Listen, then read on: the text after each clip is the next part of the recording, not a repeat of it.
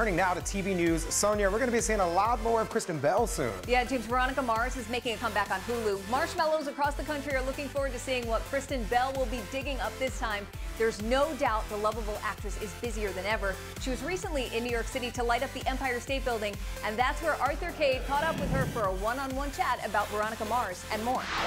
Kristen Bell, we're atop the Empire State Building, Yeah. supporting a wonderful organization. That is correct. The So- Women's Peace and Humanitarian Fund. They find women who have great ideas as to how to help their communities, and they give them funding and they give them like managerial training and capacity training and tech training. Veronica, sure you know breaking and entering is a felony? Come on, I knew the felonies before I knew the state capitals. Veronica Mars is back. It's been the one project that I hear over and over again has has resonated with people and is still important to people. And we always say Veronica is a superhero without a cape. And I think now more than ever, people want to see an everyday hero fighting for good. when you get to be part of projects like that, where fans really do connect to a Veronica Mars, to a, g- the good place, Mm-hmm. it's pretty crazy, isn't it? It's kind of the, the best thing you could possibly ask for. It's exciting to be a part of projects that, that feel like they're hitting people's hearts. Somebody royally forked up. What's been the craziest fan reaction amongst any of these projects? Usually the weirdest ones are coming from the parents of kids who have seen Frozen because for a kid, they can't make sense of the fact that I'm not just a voice. So when their parents are like,